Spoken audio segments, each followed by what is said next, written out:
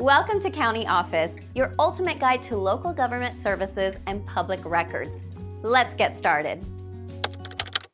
What are the qualifications for getting a mortgage?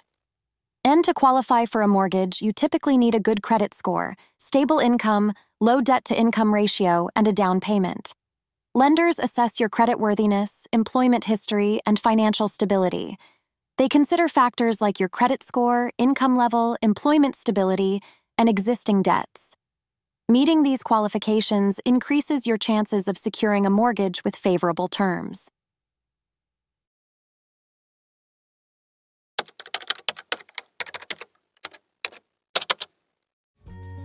To learn more, check out these links, which you can click in the description below.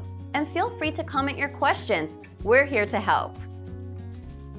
Thanks for tuning in to our video. Please like and subscribe and leave a comment below. See you in the next video.